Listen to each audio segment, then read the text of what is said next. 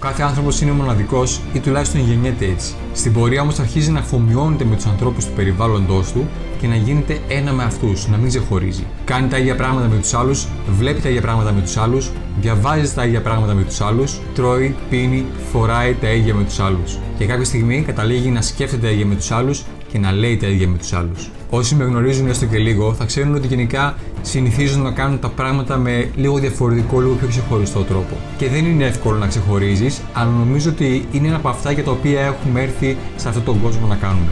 Κάτι που θα ήθελα να περάσω στα παιδιά μου είναι σκεφτείτε διαφορετικά, κάτι διαφορετικά και να είστε διαφορετικοί. Να είστε μοναδικοί. Μπορεί να διαφωνούν πολύ μαζί σας, αλλά θα σας παραδέχονται που καταφέρετε να είστε μοναδικοί, που καταφέρετε να είστε ξεχωριστοί. Και σίγουρα δεν θα μπορούν να σας αγνοήσουν. Είμαι ο Θοδωρής Αραμπατζής και θα τα πούμε στην κορυφή.